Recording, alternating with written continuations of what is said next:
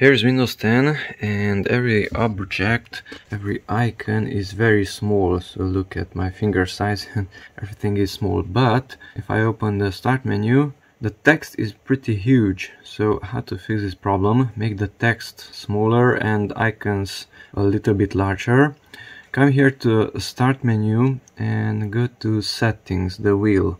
Click on settings and type in there in the search box scaling scaling and you can make everything larger or the text larger. So let's go to the first one.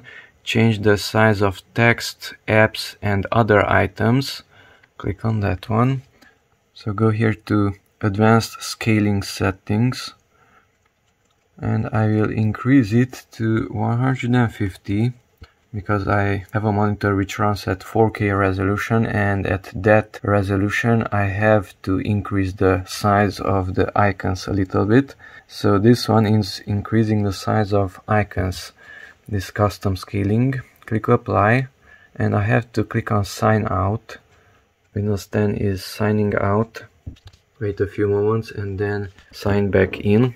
Press enter enter your username and password if you have one enter again. Now the icons are a little bit larger so they are not as small as they were before as you can see. Okay go back to the start menu. The text size was not reduced yet so we need to reduce that one. So go to settings type in also scaling scaling and make text size bigger. We want to make it smaller. So text size click on that one and instead of sample text you can see instead of that 200 something I will use 100 so make text bigger. That one was reduced. Click apply. Everything is smaller now. Close that window and the text is pretty normal. So the size of the icons was increased and the size of the text was decreased by using uh, custom scaling